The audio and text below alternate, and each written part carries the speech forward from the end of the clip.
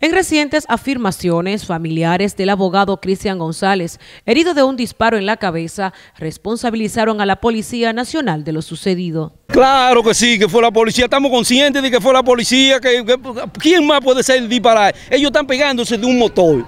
De un motor, por el motor nunca disparó. El motor llevaba demasiada velocidad para disparar en la 100 a una gente. Eso tiene que ser un francotirador de estos asesinos que tiene la policía. Estamos conscientes de eso. Nosotros, la familia, estamos conscientes de eso. Momento de angustia viven los familiares que enfrentan la desesperación ante la gravedad del hecho que mantiene en estado delicado al abogado González. Y manda, que se aclarezca todo. Ratifica que el disparo vino por parte de la policía. Sí. ¿Fue la policía que disparó? Ella la que sabe que estaba con ella. Que, sí, era la policía que estaba ahí. Para NTN, su noticiero regional, Joanny Paulino.